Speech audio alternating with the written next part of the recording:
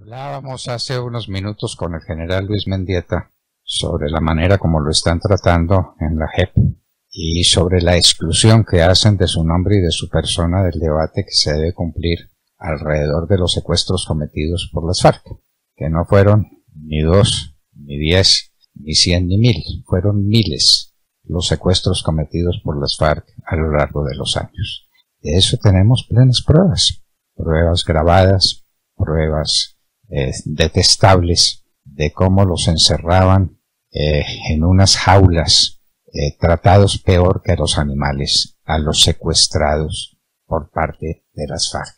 Esa es la verdad. Eso fue lo que ocurrió y esa verdad no se podrá ocultar jamás. La JEP trata de ocultarla porque es que no se nos puede olvidar de dónde viene la JEP, queridos amigos. La JEP viene de una terna de haces extranjeros todos, eh, que son de extrema izquierda, comunistas, uno de la ETA, otro de Sendero Luminoso y otro de la Argentina. Eh, tres eh, personajes siniestros que fueron los que seleccionaron y nombraron a los miembros de la JEP. ¿Qué nos puede extrañar? ¿Qué nos puede extrañar? Eso es lo que le ocurrió al país y eso es obra de Juan Manuel Santos y de su acuerdo de paz hecho para buscar un premio Nobel que desde luego no se merece pero que nos ha hecho tan infinito daño. La JEP, pues, está haciendo lo que corresponde, siguiendo las instrucciones de su jefe, que son los miembros de las FARC, y tratando de ocultarle al país lo que el país conoce, lo que el país recuerde que no podrá olvidar jamás. Los miles de secuestrados, que eso se suman a los miles de personas asesinadas, se suma a las decenas de miles de personas que perdieron su hogar y que fueron desplazadas, al reclutamiento de los niños, a la violación de las niñas. El país no se le va a olvidar eso jamás. Y Juan Manuel Santos será culpable de ese acuerdo que hizo eh, con las FARC para tratar de ocultar la verdad. Doscientas y tantas páginas de basura. Eso es lo que contiene el acuerdo con las FARC, que todos dicen que quieren cumplir, que van a cumplir cuando las FARC no ha cumplido nada. Son ricos, inmensamente ricos, con el negocio más próspero que hay en América, que es el negocio de la cocaína. No han indemnizado a nadie, no le han pedido perdón a nadie. Y cometieron los desafueros que cometieron.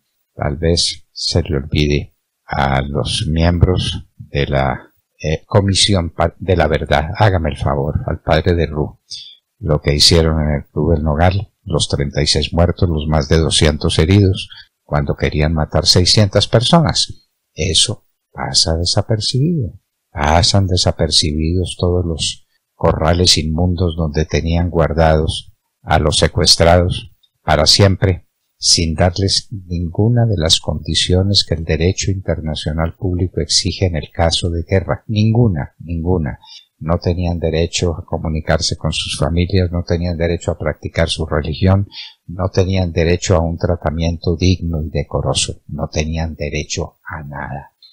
Esto no se nos puede olvidar, queridos amigos, porque nos están haciendo un trabajo sobre la memoria.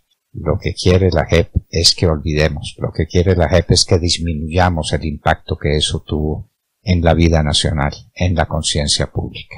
Eso es lo que quiere la JEP porque estamos en pleno proceso electoral, ocupados de saber quién ocupará la presidencia de la República, si un eh, comunista ateo o si un empresario católico con una vicepresidente eminentemente católica y trabajadora por el bienestar de la gente más pobre, trabajadora del minuto de Dios.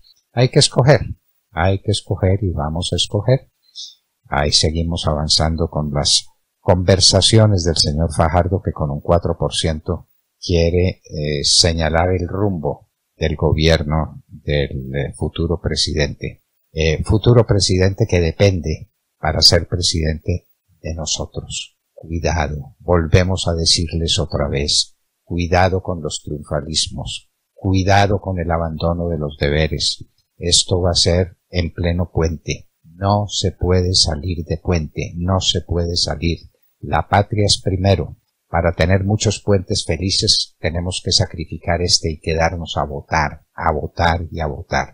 Bueno, queridos amigos, Son reflexiones que hacíamos a propósito de estas circunstancias y de estas ocurrencias. La JEP tratando de ocultar la verdad, la JEP quitándole la palabra en las audiencias para tratar de los secuestros al hombre que ha sido más elocuente y más firme y más leal con sus principios al general Luis Mendieta, no lo quieren escuchar. Por ahí empezamos y caímos como teníamos que caer en el negocio más importante que tenemos entre manos, que es el de la elección del próximo presidente de la República. Queridos amigos, más que nunca se necesita cuidado con la verdad. Más que nunca se necesita tranquilidad, ecuanimidad y firmeza. Y firmeza. No nos dejemos llevar por las mieles del triunfo. Todos los días están saliendo datos sobre la ventaja que Hernández le lleva a Gustavo Petro. Y esto habrá de confirmarse y habrá de ampliarse. Pero cuidado con el triunfalismo, y cuidado con el miedo, y cuidado con el olvido. El miedo y el olvido son muy malos consejeros, porque tenemos que saber de dónde venimos y tenemos que tener muy presente que la paz de Colombia depende, como tendrá que depender en el futuro, de la ruina del negocio del narcotráfico. El negocio del narcotráfico a cuyo nombre tres sujetos radicales internacionales vinieron a elegir a los personajes de la JEP. Ellos son patrocinadores del secuestro y son patrocinadores de esta cosa horrenda que es la cocaína. Queridos amigos, cuidado, queridos amigos, nada de triunfalismo, pero el corazón en alto, porque los mejores días están por venir.